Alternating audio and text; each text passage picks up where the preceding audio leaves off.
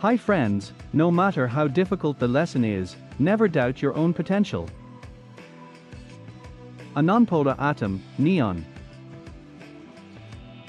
Neon has 10 electrons. 2 electrons are in the K shell, and 8 electrons are in the L shell. This is a stable and neutral atom. What's interesting about this atom?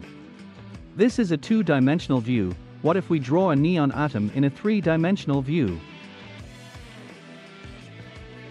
The point at the center of the coordinates is the atomic nucleus.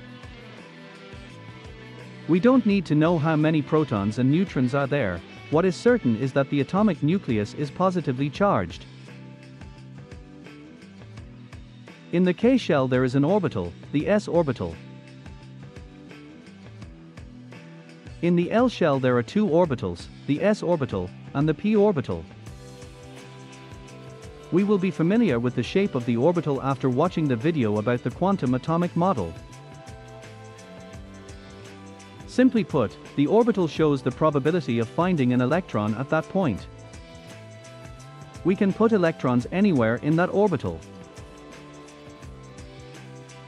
It seems that we can ignore the shell closest to the atomic nucleus, because it does not interact with other molecules. The s orbital can hold two electrons. The p orbital can hold six electrons. This is the position of the electron at a certain time. At another time, in one of the lobes there are two electrons. Coincidentally, two electrons in the s orbital are also near that location. Quantum mechanics allows this, because it is a possibility. We do not know how the electrons move, but what is certain is that electrons in an orbital can reach all points on the orbital surface. On this side there are four electrons clustered together. Because on this side there are more electrons, we can say that this side is negatively polarized. On the other hand, on the other side, it is positively polarized. In the end, the neon atom remains a neutral atom. The two polarities are separated by a distance to form a dipole. At this time, there is a momentary dipole in the neon atom.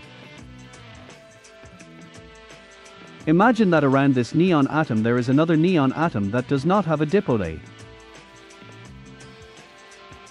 Electrons that are close together will move away from each other. Because the number of electrons in the neon with a momentary dipole is greater, the electrons in the neon that do not have a dipole will move to the left side. Eventually, a momentary dipole is also formed in the other neon atom.